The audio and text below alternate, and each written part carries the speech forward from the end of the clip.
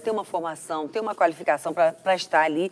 Mas o que a gente descobriu hoje, é, Ivete, é, eu acho que é que você tem centenas de pessoas tão qualificadas quanto aquelas para escrever. Hum. Eu acho que a gente está entrando na, na, na era da, da, da, intelectualidade de massa, onde você descobre um garoto anônimo que escreve tão bem sobre cinema quanto um professor PhD, porque ele tem paixão, porque ele é um amador que vê tudo, porque ele, desen, né, ele, desenca, ele né, desencava é. as coisas mais raras. Ou seja, não, não vamos dizer aqui que, né, que a formação tradicional do jornalista, do produtor de informação não interessa ou acabou. Acho que não vamos cair nesse tipo de populismo, democratismo. Hum. Mas, simplesmente, né, eu encontro hoje jovens críticos de cinema que maravilhosos, né? de novo, né? Quer dizer, quando me perguntam qual é o melhor caderno de cultura do, do Brasil, eu digo Google.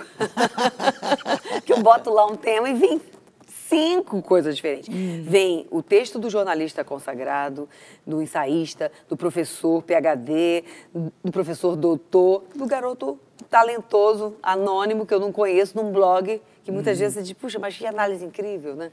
Então, enfim, eu acredito nessa inteligência coletiva que se, é, né, que se tornou explícita, digamos assim, né? que apareceu, que emergiu pós-mídias digitais. Né?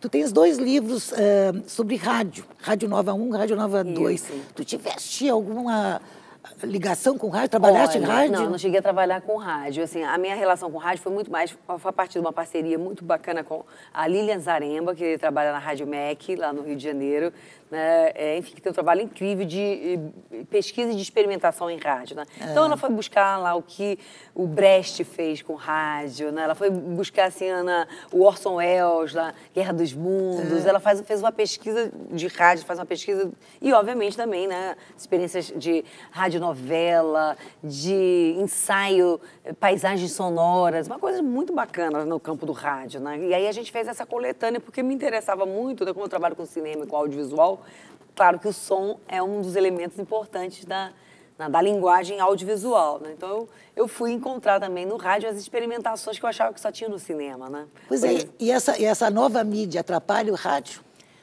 Não, olha, eu acho que a nova mídia não atrapalha nada, viu, Vete?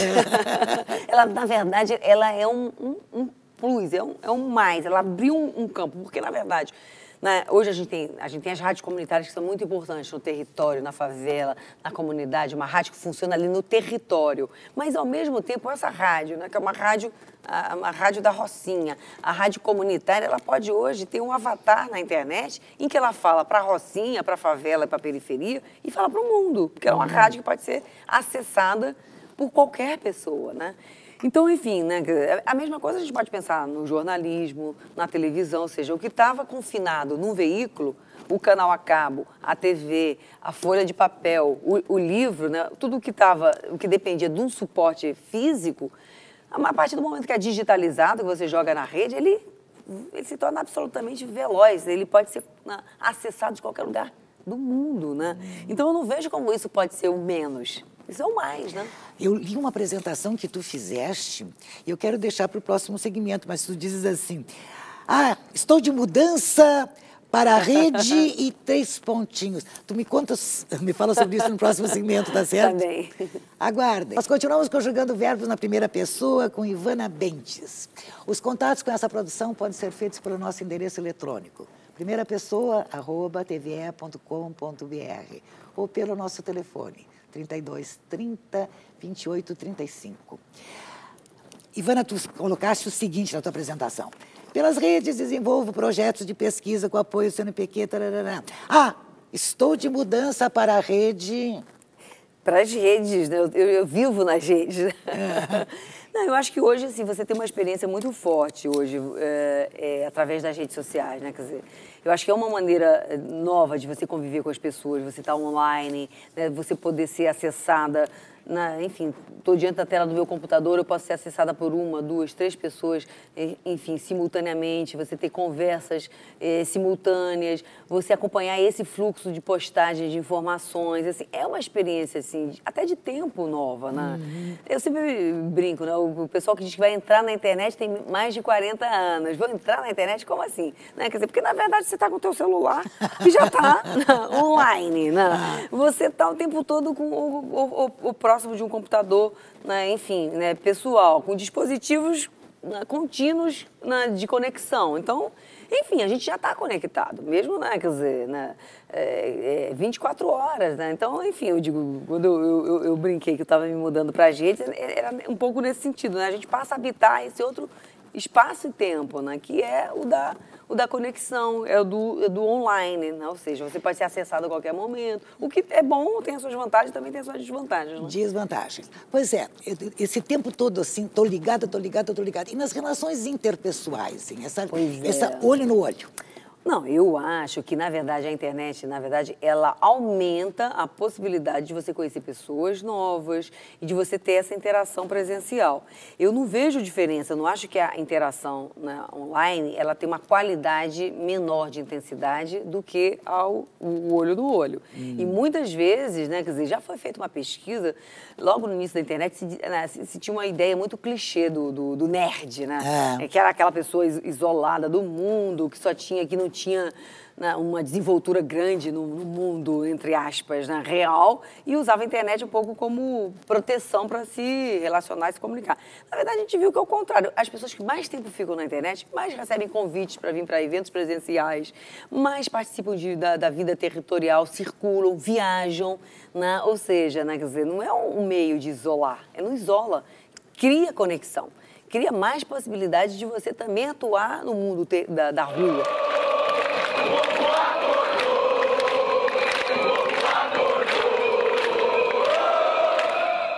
Né? Então, essa relação entre as redes e a rua, como a gente diz, né, ela, ela se tornou cada vez mais intensa. Né? Então, acho que é uma ideia, é uma falsa ideia.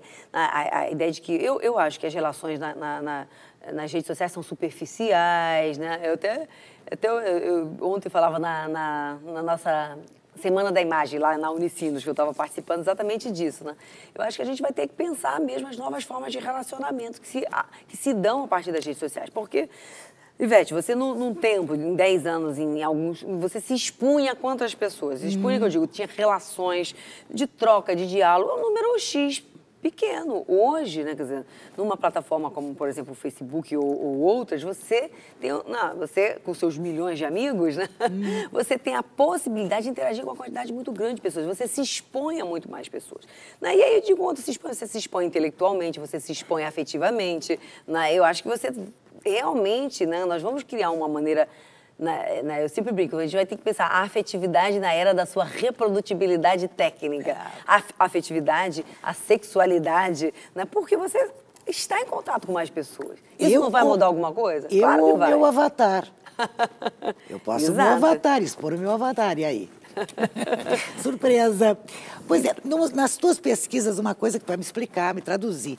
Capitalismo cognitivo. Isso, eu acho que é uma, né, uma noção, é um conceito hoje, para a gente dizer que justamente hoje né, o, o capitalismo ele trabalha com na, primordialmente com a informação, com conhecimento, ou seja, né, quer dizer, a gente é, a gente está vivendo uma mudança, né? um momento de passagem do capitalismo, né? Quer dizer, que a gente chama de fordista, né? enfim, baseado na, na fábrica, no chão de fábrica, na produção de, né? de objetos que, obviamente, não desapareceu, né? a, a, materialidade das coisas, a gente bebe, come, né? quer dizer, uhum. material, mas hoje você tem toda uma produção de valor né? que depende né? do, do imaterial, da comunicação, da informação, do design, da publicidade, né? quer dizer, muitas vezes a gente for pensar até na, na, no campo mesmo do consumo, né? Quer dizer, enfim, o dinheiro que é gasto na produção de um tênis né? A, a, matéria que gasta, a, na, a, a, fabricação do tênis, hoje, ela é. Né, a, parte material é muito mais barata do que você, por exemplo, gasta na publicidade. Ou seja, uhum. o que vai fazer você realmente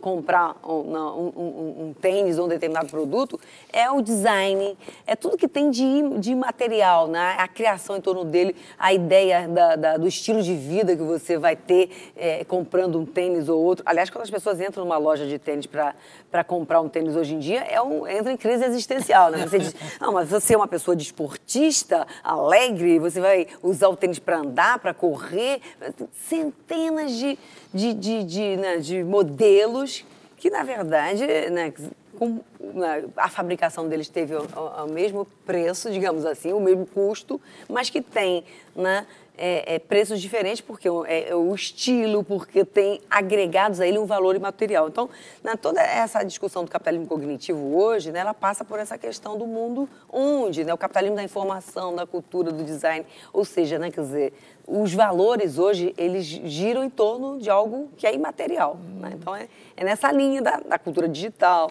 na, na, informação, da comunicação. O capitalismo hoje depende para né, funcionar desse mundo da criação do afeto, né, dessa imaterialidade toda. Né? Tu tens um olhar muito crítico, né, principalmente sobre a imagem. Como é que Sim. tu vês a publicidade? O que, que te encanta ou te desencanta na publicidade? Não, a, a, publicidade tem uma coisa de fascinante, né? Quer dizer, porque é uma, é uma linguagem muito sofisticada, né? Quer dizer, é, né, eu digo assim, exatamente, né, ela cria o um mundo, né? Imagina, eu achar que eu vou ser uma pessoa mais incrível porque eu vou comprar esse copo, né?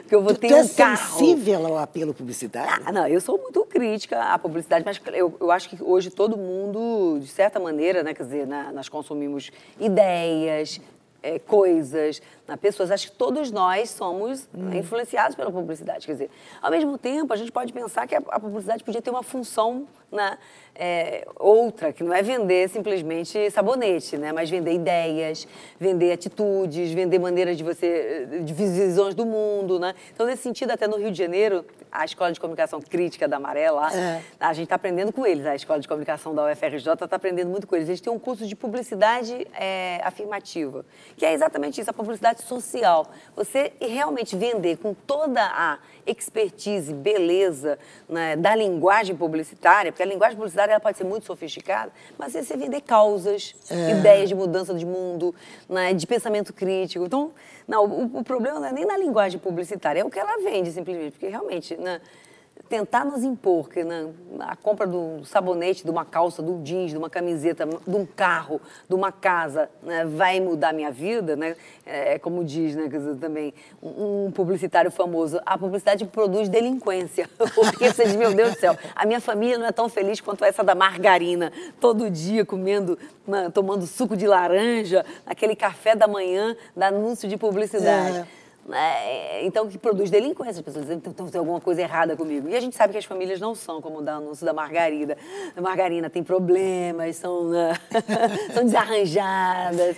Então, a publicidade muitas vezes produz perturbação de estupro por ser tão idealizada, por ser tão. Né, é, enfim, por criar um mundo. Né, por impor uma felicidade tão plástica, tão. É, enfim, né? Então, eu, eu, eu sou fascinada por publicidade. Consumo publicidade, gosto, mas eu acho que a gente tem que usar a publicidade para outras... A linguagem da publicidade, que é poderosa, para outras causas. Pois é, tu estavas fazendo o curso de jornal de comunicação social, ênfase em que? Jornalismo. Sim, eu me formei em jornalismo. Tá. É. E, de repente, assim, maior interesse por cinema. É. Como é que aconteceu isso? Fizeste dentro do curso, fizeste isso? Pois é, não, foi fora. Eu, nunca, eu nunca coloco os meus dois pés num lugar só, viu? Ah. Então, eu estava dentro da universidade, mas, enfim, nesse momento, no final, 82, 84, estava aparecendo no Rio de Janeiro Estação Botafogo, né? Hum. Que é uma hum. rede que depois explodiu no Brasil Novo. Que tem aqui em Porto Alegre, né? Ficou Estação Botafogo, depois virou Unibanco, Artplex.